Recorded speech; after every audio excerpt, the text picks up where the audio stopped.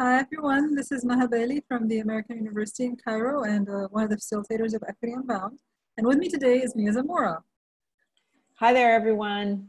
I'm at Kean University in New Jersey and Maha and I will be speaking about a protocol um, that we call studio visits, which we think really opens up um, and welcomes people into the learning process. Maha, so what got you started? Yeah. yeah, what got you started in on it? Because so, I think you started it and then I started being involved.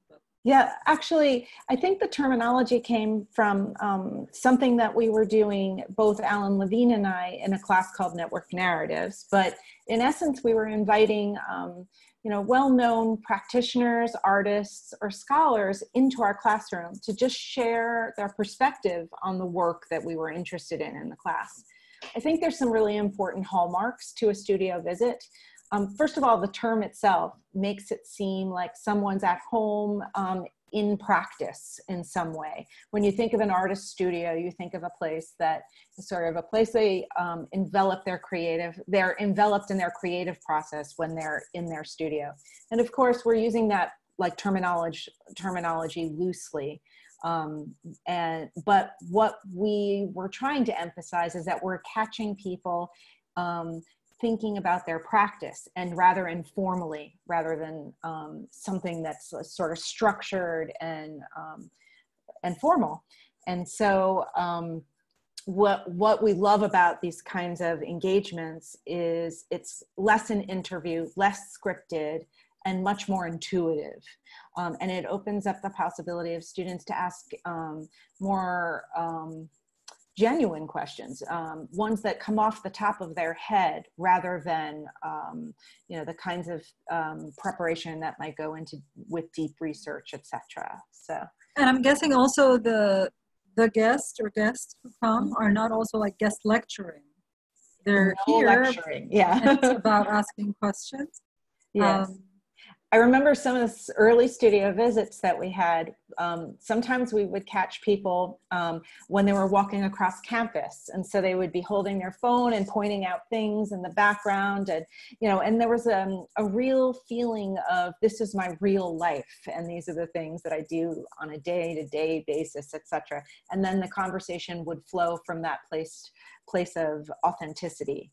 Um, and so that's what the studio visit is. It's basically um, connecting up with someone that you are very interested in in terms of the work that you're discussing, mm-hmm. but doing it in an informal and open way. Right. And neither you nor I, I think, require students to come to these, but sometimes we record them and students can watch them later if they want to come in. And there are certain students who used to like coming to them, I think. Yeah, there's certain um, students that love to go to the studio visit. And um, sometimes we had signups because we knew maybe if the um, asynchronous time, like the time that was outside of our class time didn't work for a student, then in essence, um, you know, it's hit or miss whether it would fit into a student's schedule, but we would have sign up just so if they could make it and wanted to be there, that they mm-hmm. could. Right. And, and so we sometimes, recorded. yeah, and we usually recorded these. So we'll mm-hmm. we'll have uh, links to examples on from the Equity Unbound site uh, that folks can watch. And you'll see that some of them had more educators joining in uh, the sessions than students. That happens sometimes. There were also a couple of them that I think were really, really successful, but they were unrecorded. So I'm just going to give a couple of examples of those because people can't see them. Um, there was one with um, Singh who did these videos about screening surveillance. And because of the topic of surveillance and the kinds of things that students might have asked in that session, we decided not to record it. We actually had students from several different countries. So it's, it's you can do it for your own class, obviously, just you, you and your students, but there's also the advantage of if you're doing it online anyway, uh, and nowadays a lot of people are online anyway, is that you can invite anyone in the world if they want to join in, right? So we had uh, participants from here, we have participants from the US, um, and students were talking to Sava, and it was this one, I think, because it was unrecorded, because of the kind of person she is, so it helps if you, the teacher, has a good relationship with the person and you know that they're friendly and that they're easygoing with students. Um, so even though the topic was really serious, really, I would say, you know, black, you know, dark, but uh, but uh, but together they actually had a great time. And my students were not required to come; they were some of them were coming for one, but then we had a second session with her, and some students came again because they enjoyed it so much. And this was before mm. COVID, before everyone was online, so they didn't really have to do that. It was like 9 or 10 p.m. their time, and they stayed up for it. Mm-hmm. The other one that we didn't record was the well-being conversation we had, and we didn't have a guest speaker for that. It was mm-hmm. actually three educators with some of their students. Um, I think students appreciated just being with people from different countries. Yeah, that's um, right. Experiencing yeah. something similar in, in that case, I think um, the the topic, as Maha just said, was well-being, and I think what happened is that people converged together to talk about their perspectives on this unfolding of something unprecedented and certainly not foreseen, right? Um, but getting those perspectives from across the globe was really um, I think, nourishing in a way because it, it, it, made us all understand that there's some there are some things that don't change no matter where you are but then there's also distinctions that are very meaningful as well. So the conversation was um, i think a cross and intercultural one in some sense um, as we all struggle through something we never imagined would be unfolding. The other thought i had about this also that i think might be helpful for people to just sort of conceptualize is conceptualize this is that um, in a in a face-to-face campus situation, you tend to find things like support groups or or just like conversations that you can join or a panel discussion that you can join on campus or things like that. Uh, like third third places, they're not part of your classroom, but they're in on campus that you can join.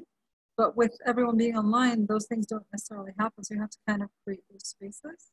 Yes. Um, and because you're going to do them online anyway, there's the extra value of doing it in an intercultural way.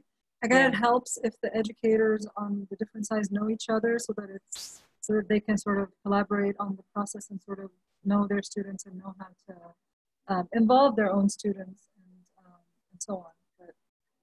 One last comment I'll make is that I've noticed in studio visits, especially when there are students involved, that there's some sort of thrill and joy that comes from being able to see the surroundings of um, people far away. So um, just sometimes taking the screen close to a window and sharing the perspective in that locale becomes um, fascinating and also empowering for the for the people on the other end um, who are, receiving that sharing in a way so there's something intimate about studio visits that sort of opens up the possibility yeah. of understanding what you don't like things that aren't familiar to you or not as close to you in some right. way so which i always felt like I always felt like when people use virtual backgrounds a little bit too much, they take away from that. It's fine. Yeah but it takes yeah. away from that. But then at, the same time, you sort of understand, well, maybe they don't have a beautiful background behind them to show. Yeah, sure. comfortable. Yeah. Um, and obviously, what happens a lot with my students is that their connectivity might not be great every time, so they don't even turn on their cameras. Yes. Uh, but I realize that they appreciate yeah. being able to participate in the text chat, and that's also an important thing to. Mm-hmm. To suggest is that students could be intimidated by a guest who's a high profile person. They may mm-hmm. not even realize how high profile the person is actually. It's just like someone they don't know who's too. a stranger. Yeah. Uh, sometimes students will speak a little bit more because they want to be welcoming and hospitable to the stranger. Sometimes they're a bit shy. Um, sometimes it helps to privately message them and ask them, hey, do you have a question? Or the ones that you know are mm-hmm. likely to speak up. But then encouraging them to use the chat. And if they're not comfortable speaking up, just reading out what they say in the chat helps. And then when they realize that the, the guest or you are appreciating the comments they're saying in the chat and you bring them to the conversation, Mm-hmm. Um, that can be great. And also, you can equally have two parallel conversations, one on the chat and one uh, on voice, and, and that works just as well. Yeah, I think that's often happening is that there's two channels of dialogue and conversation in the chat and then in the in the screen or uh, uh, in the lens as well. Um, and that and in a way they're connected and they're enriched um, in some ways back and forth. But Yes, studio visits. They're a great practice. Give it a try. Let us know yep. if you want more details.